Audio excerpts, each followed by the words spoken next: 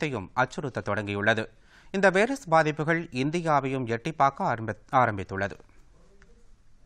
சீனாவில் corona virus தீவிரமாக பரவத் தொடங்கியுள்ளதால் அந்நாட்டிலிருந்து அமெரிக்க தூதரக ஊழியர்கள் தனி விமானம் மூலம் தங்கள் ஊர்களுக்கு புறப்பட்டுச் சென்றனர். சீனாவின் வுகான் நகரில் பரவத் தொடங்கிய கொரோனா வைரஸ் தற்போது அந்நாட்டின் பல நகரங்களில் வேகமாக பரவி வருகிறது. சுமார் மூன்றாயிரத்திற்கும் மேற்பட்டோர் இந்த வைரஸால் பாதிக்கப்பட்டுள்ள நிலையில் இதுவரையில் எண்பது பேர் உயிரிழந்துள்ளனர். இதனால் அங்கு நோய் பரவல் தடுப்பு நடவடிக்கை போர்க்கால அடிப்படையில் முடுக்கிவிடப்பட்டுள்ளது. பனிரண்டு நகரங்கள் முழுமையாக முடக்கப்பட்டு வைரஸ் பரவல் தடுப்பு நடவடிக்கை மேற்கொள்ளப்பட்டுள்ளது. எனினும் தினந்தோறும் கொரோனா வைரஸ் பாதிப்பு அறிகுறிகளுடன் மருத்துவமனைகளுக்கு வருபவர்களின் எண்ணிக்கை அதிகமாக உள்ளது. இதற்கிடையே சீனாவிலிருந்து இந்தியா திரும்பும் பயணிகள் விமான நிலையங்களில் தீவிர சோதனைகளுக்கு உட்படுத்தப்பட்டு வருகின்றனர். இதுவரையில் சுமார் முப்பதாயிரம் பேர் இந்த பரிசோதனைக்கு உட்படுத்தப்பட்டுள்ளதாக மத்திய சுகாதாரத்துறை அமைச்சகம் தெரிவித்துள்ளது. எனினும் இதுவரையில் வைரஸ் பாதித்தவர்கள் யாரும் நாடு திரும்பவில்லை என்று அமைச்சகம் தெரிவித்துள்ளது. எனினும் சந்தேகத்தின் அடிப்படையில் கேரள மாநிலம் திரிசூர் பத்திரம்திட்டா மலப்புரம் ஆகிய இடங்களைச் சேர்ந்த மூன்று பேர் தனி இடத்தில் வைக்கப்பட்டு பரிசோதிக்கப்பட்டு வருகின்றனர் என்று மத்திய சுகாதாரத்துறை அமைச்சர் தெரிவித்துள்ளார்.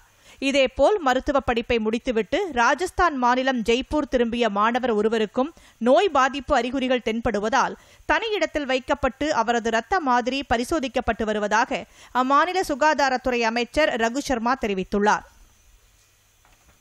இதற்கிடையே நாட்டின் அனைத்து விமான நிலையங்களிலும் சீனாவிலிருந்து வரும் பயணிகள் தீவிர சோதனைக்கு உட்படுத்தப்பட்டு வருகின்றனர் என்றும் மத்திய அமைச்சர் வெளியிட்டுள்ள டுவிட்டர் பதிவில் வெளியிடப்பட்டுள்ளது. வெளியுறவுத்துறை அமைச்சக செய்தி தொடர்பாளர் ரவீஷ்குமார் அளித்த பேட்டியில் சீனாவின் நிலைமையை வெளியுறவுத்துறை அமைச்சர் ஜெய்சங்கர் தீவிரமாக கண்காணித்து வருவதாகவும் தற்போதைக்கு அங்கு எந்த இந்தியரும் இந்த வைரஸால் பாதிக்கப்படவில்லை என்றும் இந்தியர்களுக்கு உதவ அங்குள்ள தூதரகம் தீவிர நடவடிக்கை எடுத்து வருகிறது என்றும் கூறினார். அங்கிருந்து இந்தியா திரும்ப முடிவு செய்துள்ள மாணவர்களுக்கு போக்குவரத்து வசதிகளை அளிக்கவும் இந்திய தூதரகம் நடவடிக்கை எடுத்துள்ளது என்றும் அவர் தெரிவித்தார். இதற்கிடையே சீனாவில் பரவிய கொரோனா வைரஸ் தற்போது வெளிநாடுகளுக்கும் பரவத் தொடங்கியுள்ளது. பிரான்சில் மூன்று பேர் இந்த வைரஸால் பாதிக்கப்பட்டுள்ளது கண்டறியப்பட்டுள்ளது. இதையடுத்து அந்நாட்டு பிரதமர் தலைமையில் இந்த வைரஸை எதிர்கொள்வதற்கான அவசர கூட்டம் நேற்று நடைபெற்றது. இதேபோல் தாய்லாந்தில் எட்டு பேரும் தென்கொரியாவில் மூன்று பேரும் இந்த வைரஸால் பாதிக்கப்பட்டது கண்டறியப்பட்டுள்ளது. சீனாவில் கொரோனா வைரஸ் வேகமாக பரவி வருவதால் அங்கு வசிக்கும் அமெரிக்கர்கள் தங்கள் சொந்த நாடுகளுக்கு திரும்ப தொடங்கியுள்ளனர். இதனால் அமெரிக்கா செல்லும் விமானங்கள் அனைத்தும் முன்பதிவுகள் முடிந்துவிட்டன. இந்நிலையில் சீன தலைநகர் பெய்ஜிங்கில் பணியாற்றும் அமெரிக்க தூதரக ஊழியர்கள் தனி விமானம் மூலம் தங்கள் சொந்த நாடுகளுக்கு திரும்பினர்.